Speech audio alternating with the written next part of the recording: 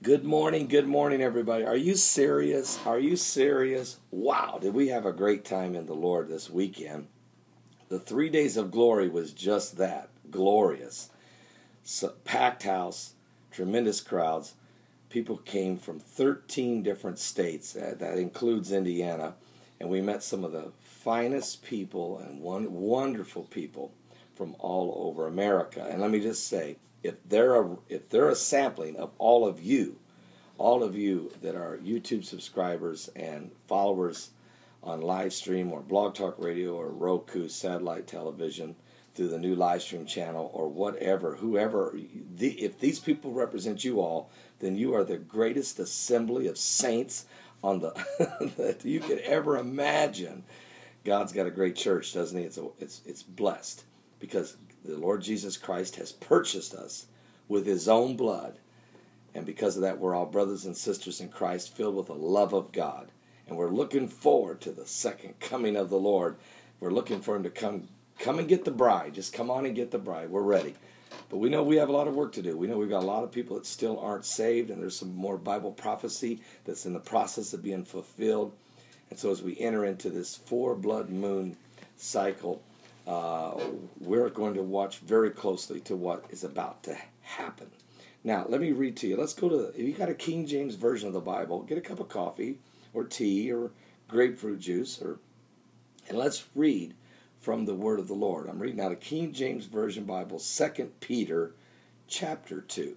Excuse me, 2 Peter chapter 1. Let's go there. Mm. 2 Peter chapter 1. Simon Peter, a servant and apostle of Jesus Christ, to them that have obtained like precious faith with us through the righteousness of God and our Savior, Jesus Christ. Now, grace and peace be multiplied unto you all through the knowledge of God and of Jesus our Lord, according as his divine power hath given unto us all things that pertain unto life and godliness through the knowledge of him that hath called us to glory and virtue. Now, whereby are given unto us exceeding great and precious promises, great and precious promises, folks, that by these ye might be partakers of the divine nature, having escaped the corruption that's in this world through lust. And besides this, giving all diligence, add to your faith virtue, and to virtue knowledge, and to knowledge temperance, and to temperance patience, and to patience godliness, and to godliness brotherly kindness, and to brotherly kindness charity.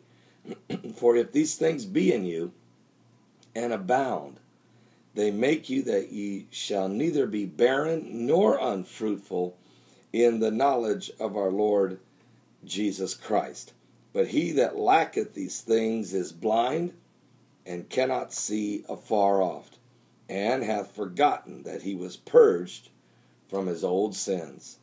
Wherefore, the rather, brethren, give diligence to make your calling and election sure. For if ye do these things, ye shall never fall. For so an entrance shall be ministered unto you abundantly into the everlasting kingdom of our Lord and Savior Jesus Christ.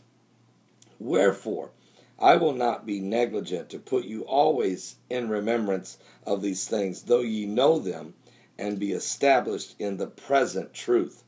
Yea, I think it meet, as long as I am in this tabernacle, to stir you up, stir you up by putting you in remembrance, knowing that shortly I must put off this my tabernacle, even as our Lord Jesus Christ has showed me.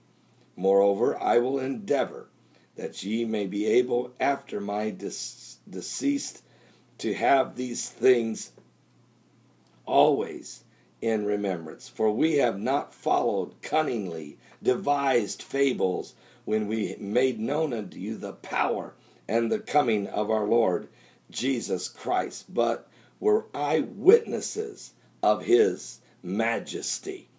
For he received from God the Father honor and glory, when there came such a voice to him from the excellent glory This is my beloved Son, in whom I am well pleased. And this voice which came from heaven we heard when we were with him in the holy mount. We have also a more sure word of prophecy, whereunto ye do well that ye take heed, as unto a light that shineth in a dark place until the day dawn and the day star arise in your hearts. Knowing this first, that no prophecy of the Scripture is of any private interpretation, for the prophecy came not in old time by the will of man, but holy men of God spake as they were moved by the Holy Ghost. This is Second Peter chapter 1. Powerful, powerful, powerful chapter because Peter, who's the apostle of the Lord, of course, the one that walked on the water with Jesus and, and cut off the Roman soldier's ear when they were trying to apprehend Christ, yet Jesus healed the Roman soldier's head by putting his ear back on and healing it. I mean, this same Peter who witnessed all these fish that were caught when Jesus told him to go back out a second time into the into the Sea of Galilee. This same Peter heard the voice of God saying, This is my beloved Son, in whom I am well pleased. This is the same Peter who ran to the tomb with John and went in and saw that there, the tomb was empty. This same Peter, uh, who may have denied the Lord three times before the cock crowed twice that morning, still is the same Peter that stood on the day of Pentecost after the Holy Ghost fell in the upper room and prophesied that this is that which was spoken of by the prophet Joel. I'm here to tell you right now that Peter understood end time prophecy. He listened closely to Jesus' words in Matthew 24 and in Mark 13 and in Luke 21.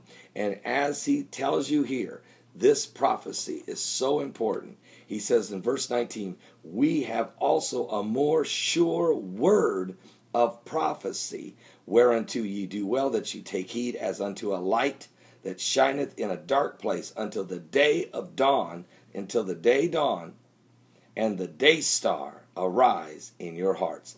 And that day star is Jesus Christ. Give your life to Jesus Christ if you're not saved. And if you are saved, keep looking at Bible prophecy as it's pointing toward the coming of the Lord. And we want to be ready. And there's a lot going on. I'll be right back with some current world events and how they relate to Bible prophecy.